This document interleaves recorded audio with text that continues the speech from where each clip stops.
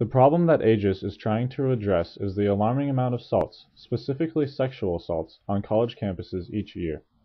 Nationwide, a recorded 3,070 assaults occurred on college campuses in 2003, and another 2,581 students were victims of sexual assaults.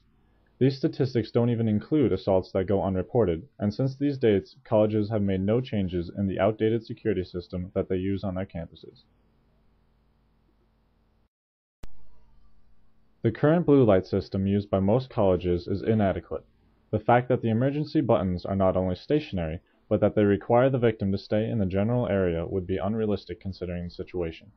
This was the major problem that we wanted to address with Aegis.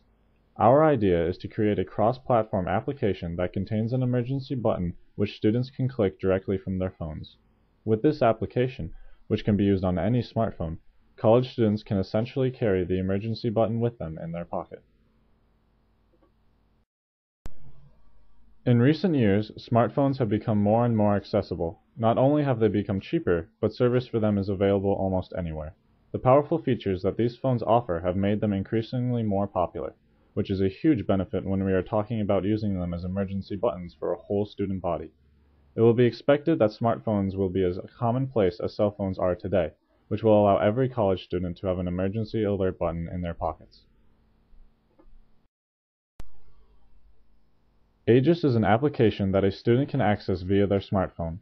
It consists of two different components, a website used by campus security and the phone application that would send information to the web page.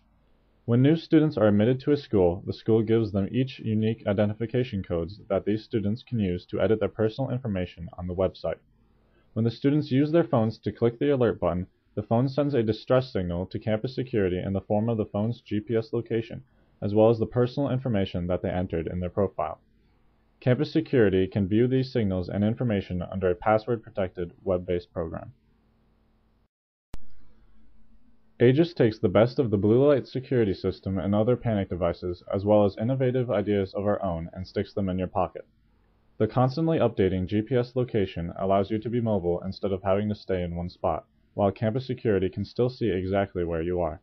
We hope, if the Aegis security system is implemented, that college students will feel much more secure knowing that campus security is only a button push away. This is an example of what the security side of the website will look like. As you can see, the web application will receive the coordinates of the person in distress and place them on a map. Important information and picture identification tied to the phone's user profile are also displayed. Currently, we have the programming done for the cell phone application that sends the phone's coordinates to the security side of the website. We are working on the programming to make the coordinates display on a map and show the user information that is tied to the account. In addition to the map, we are using UI Binder to combine the Java code that we wrote with the HTML code to organize the Java code. By the end of the year, we will have a fully functioning website and cell phone application where students and colleges can sign up and create users to edit their profiles to contain pertinent information about themselves in case of an emergency.